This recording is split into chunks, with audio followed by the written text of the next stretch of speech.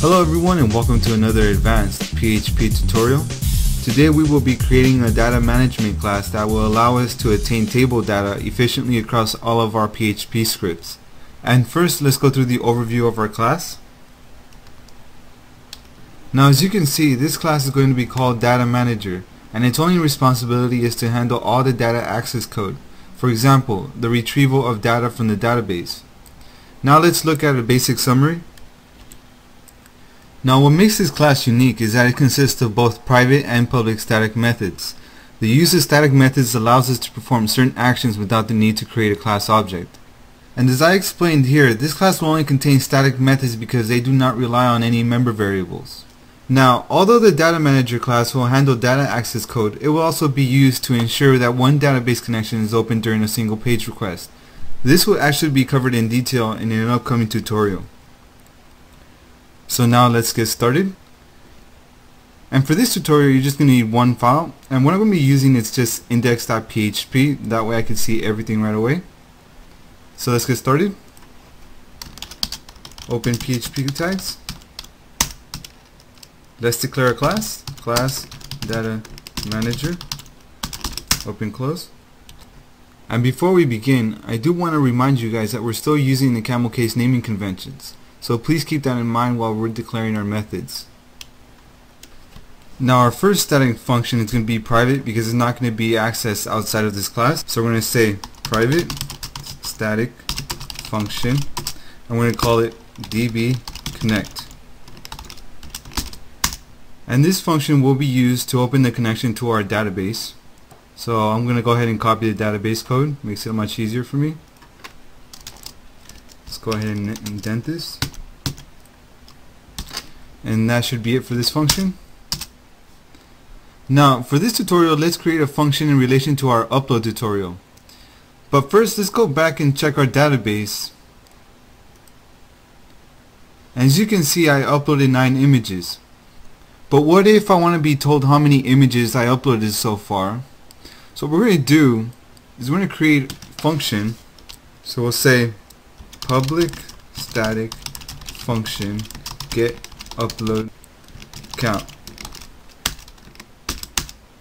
And the next thing we're going to do is open up a database connection. So we say self db connect.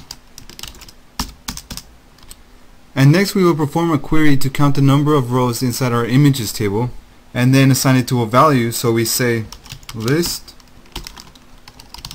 count equals array values MySQL fetch assoc MySQL query select count from our images table close that close parentheses and then retrieve our count value.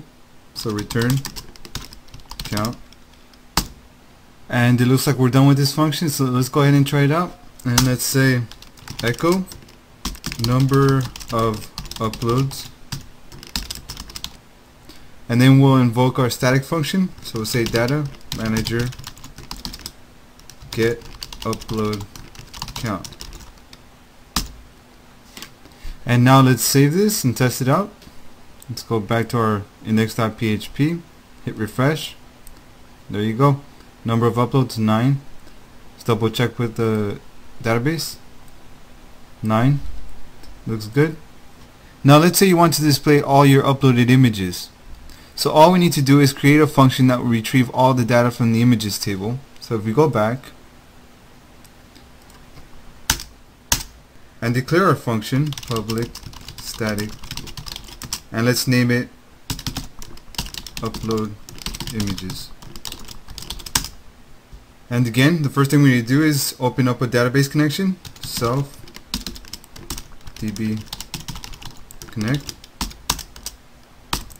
And then apply a query statement. So we say data equals mysql query.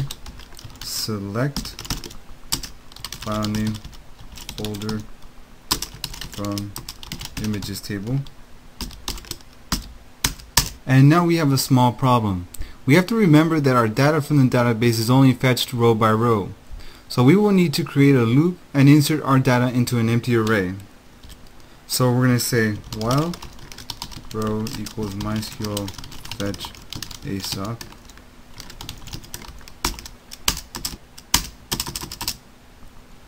Let's create a new array, list. Every time assign it to a new index. Let's say row. And that way we can return list. And now that we're done with this function, let's go ahead and display our images. So let's say list equals, and then invoke our static function, data manager get upload images.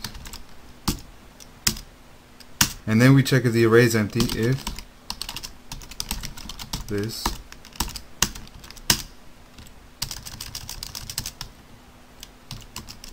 and then we go through the array by saying for each list as row.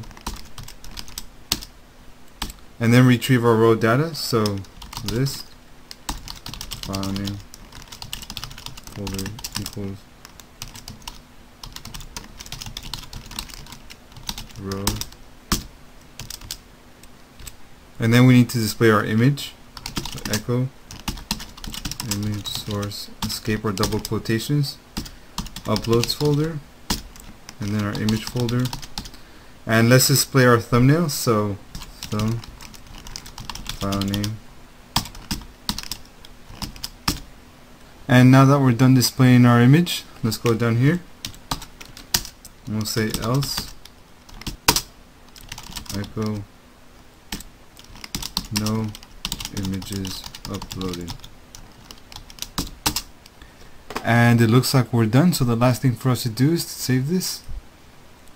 Let's go back to our index.php hit refresh and there you have it. These are the images that I uploaded. And that is how you attain table data efficiently across all your PHP scripts. And I want to thank you guys for watching. Please rate this video or leave a comment and I would greatly appreciate it. If you haven't already subscribe to my channel for upcoming tutorials. See you guys later